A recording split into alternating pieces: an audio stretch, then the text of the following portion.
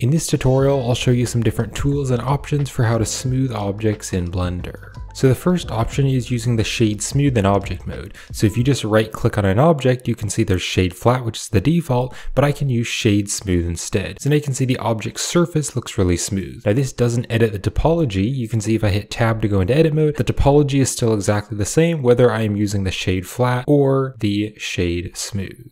Now the shading smooth feature doesn't work well for very low poly objects like this cube because you can see the shading looks really weird. It kind of looks round, but then if you look on the edges, you can see it's still sharp. And there's also some weird dark areas. So the shade smooth feature works better for objects with higher topology. If I move the cube out of the way and instead add like a UV sphere, then I can just shade this smooth with the object context menu. You can see that looks a lot better now because it has a lot more topology. Now you might have also noticed that there is a shade auto smooth. So the shade auto smooth smooth is going to shade the faces, but only by a certain angle. So if I hit Shift A for the add menu, I can go down here and add a cylinder. So if I were to shade this flat, that's the default, but you can see there's kind of these sharp faces here. Well, if I shade smooth, you can see it just kind of looks really weird because like right here, it kind of looks smooth and round. It almost looks circular, but then if you kind of look on the side, it's still sharp. And also there's kind of that weird darkening. Well, if I use the shade auto smooth, it's going to smooth the faces which are at a small angle.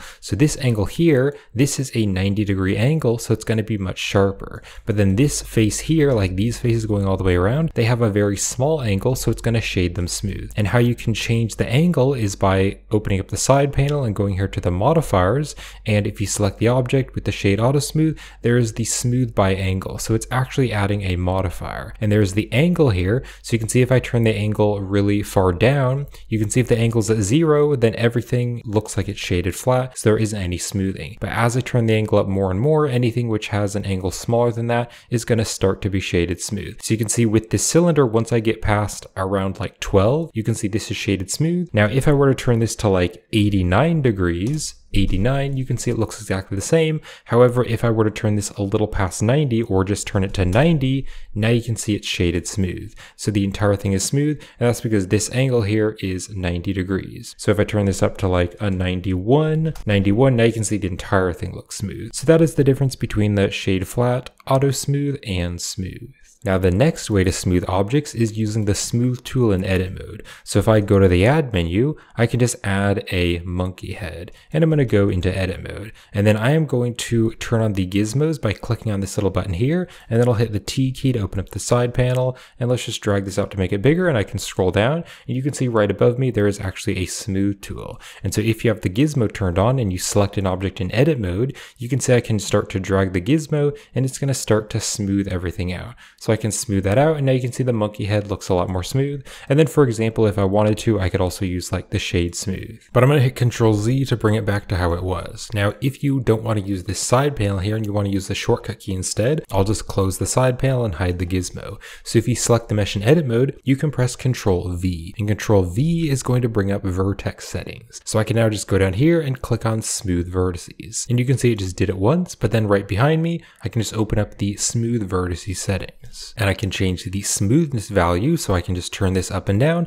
And there's also a repeat, so if you do this more and more, it's gonna basically repeat the amount of smoothing. So I can just have it maybe smooth just a little bit, but then I can repeat it many times, or I could turn the repeat down, but then smooth it up a lot. So it just kind of depends on what works well for you. Now there's also the x-axis, the y-axis, and the z-axis. So if you just wanna smooth it by a certain axis, you could just choose one of them. But in this case, I want it to be smooth all the way around, so I'll just turn on all of them. Now this smooth option doesn't work well for very low poly meshes. So for example, if I add a cube, go into edit mode, and then hit control V for vertex settings, and I can smooth the vertices, you can see it kind of just made it really small. And so it's like disappeared and I can try to like change the smoothing, but you can see it's basically smoothing it and bringing each vertex in, but there isn't really enough topology. So it just doesn't really work that well. If I were to use the object context menu in edit mode and subdivide it a few times, Let's just subdivide a few times. Now I can hit Control V and I can use the smooth vertices. Now you can see it's going to be much more round.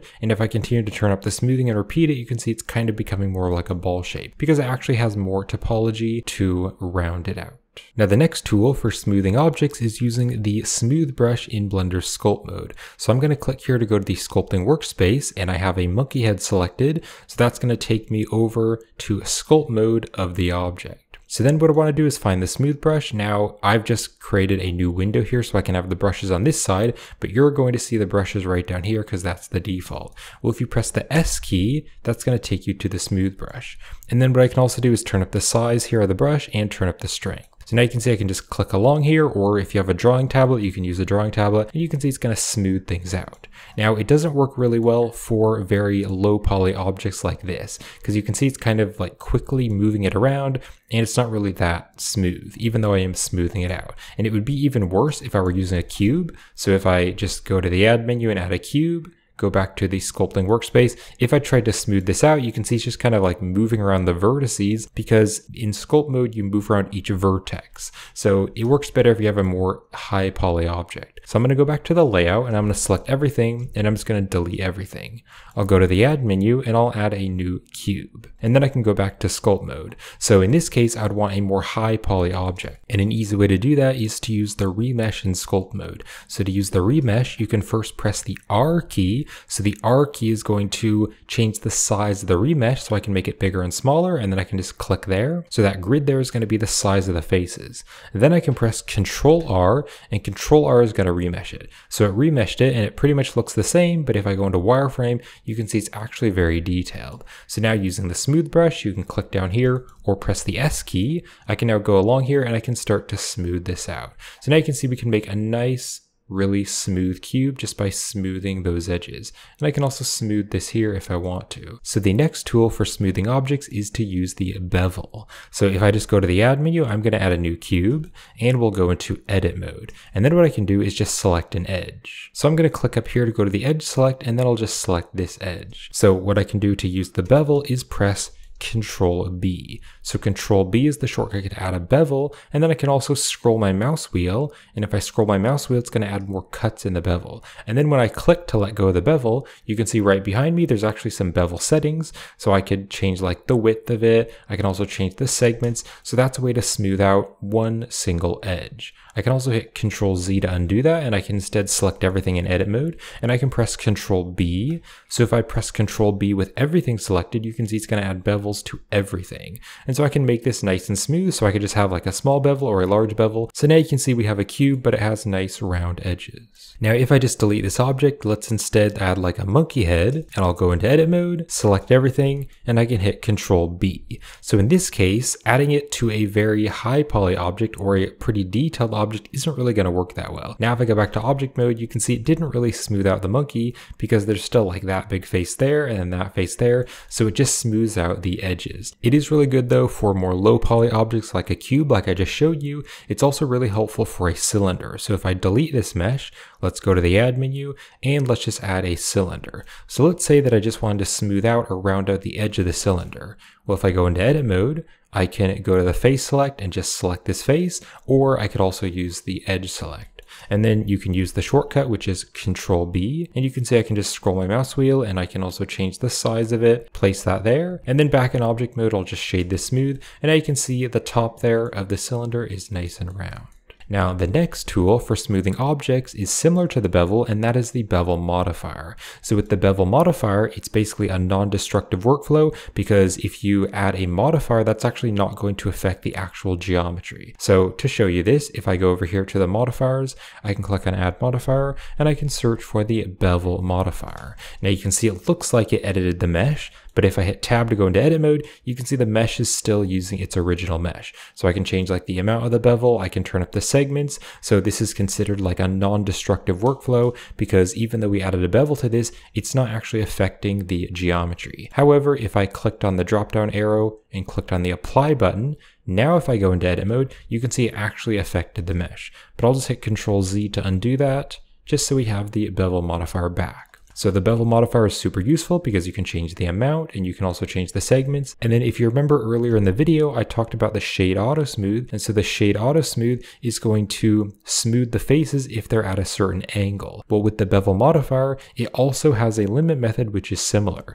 So basically it's only going to add a bevel to edges which have a certain angle. So if I take the angle here and turn it all the way down to zero, you can see now it's going to actually add a bevel to every single edge here. And so let's just turn this segments down so you can actually kind of see what it's doing. So you can see it's adding bevels here to every single edge. And so that looks really weird. There's kind of like some triangle faces here and stuff. And I really don't need it to be like that because I actually only want to add a bevel to this top here. So instead of the angle being zero, I can turn it up more and more. And you can see once it gets like around 11 or 12, you can see now there's no bevel right here on these edges. There's only a bevel on this edge. However, if I turn the angle up past 90, let's turn it to like 89, you can see it looks the same.